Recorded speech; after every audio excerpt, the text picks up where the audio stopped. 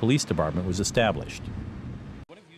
I had a chance to speak with photojournalist Jonathan Taylor about this special unit. It's a special police unit. They're, they're trained as midwives.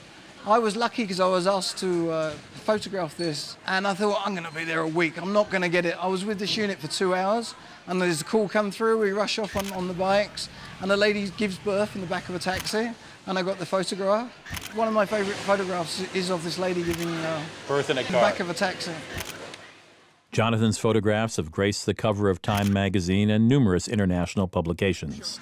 You've lived here for 15 years. What is compelling about Bangkok to you?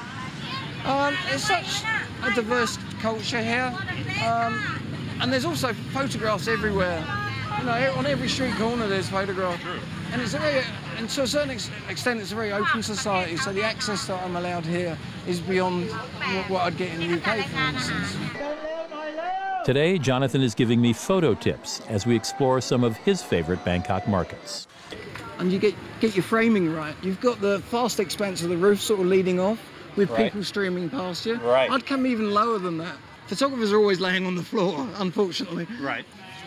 What I like about this market though, is it's just so long. You can start, you start at one end and you sort of walk for about an hour and you still haven't hit the end. For the an hour? end We can walk for an hour? An hour under this cover market, yeah. It looks like we're in the bolts of fabric department here. Now, could you but could you take fa- pick a fabric here and go to the sewing machine part and have something made? That's exactly what people do. I always sort of like looking for nook, nook- nooks and crannies and unusual places. I'd say this is a nook and a cranny. That's the thing with Thailand, no matter where you are, there's always something interesting happening. We're in Chinatown now, and what I like about this place is that it hasn't changed. It hasn't really modernised. It's still the vibrancy of the place that has always been there. The traditional way of life's still here. A shallow depth of field is also good.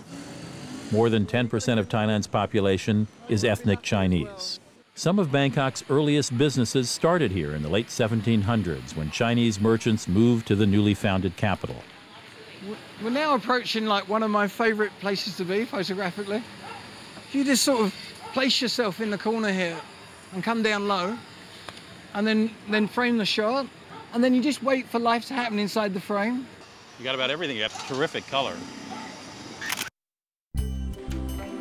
Like all truly exquisite foods, the secret behind Thai cooking starts here with